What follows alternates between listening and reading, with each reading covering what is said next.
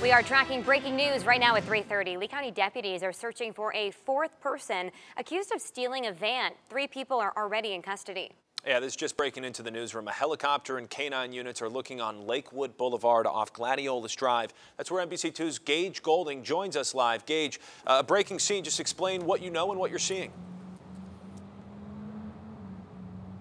Yeah, Nate Kyla, that's exactly what it is. We're still seeing uh, several deputies coming and going in addition to the one, two, three, four, five different LCSO deputies. Here comes a six around the corner right over here. And this is what we've been seeing, kind of a canvas of the area. But the focus and the focal point of this investigation is this gray Honda Odyssey minivan. If we can have our photographer Derek kind of zoom in, you can see this van really just kind of wedged itself in between this palm tree and actually dislodging itself and hitting the barrier that surrounds the Colonial Pointe community.